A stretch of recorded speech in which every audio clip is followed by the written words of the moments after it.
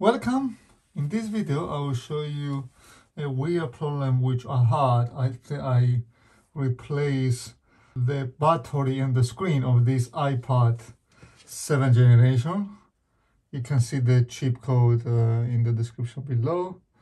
But after I remove this uh, battery in the screen, uh, the problem which I had, it was, uh, it was not charging. Basically, and uh, not only was not charging after I had a restart problem issue. iPad was restarting every five three to five minutes. It was a bit randomly but about that time. So whatever I was doing it will completely restart. And uh, in addition not only that uh, it was no charging. I mean I had the fast charger but it was showing that it was charging. You could see that it was uh, charging the icon, but it was the percentage was not going up. It was going more down, like down. And I couldn't find anywhere about what to do. But what I could find, it was uh, definitely what I could find it was most of the people they were discussing that there's something problem with the board. And I, I want to show in this video that in my case, it was not the board. It was basically I forgot to screw to put the screw back.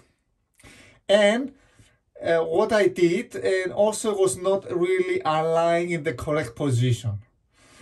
So it was a bit misaligned. So what I recommend, take off the battery again out, remove the screws here, don't remove anymore, remove the screws so you make more space, lift this up, well up, clean if there's anything else, and after put it back and make sure you screw the, the screw well. So basically it was a, a, a um, connection problem and I had this weird problem. So again, it was restarting every few minutes. It was not charging and um, the, it was showing a very low percentage. It was basically down to 1%, but the, but the, the iPad was not dying. So therefore, please try this solution and uh, I hope you're gonna fix your frequently restart, random frequently restart problem of your iPad.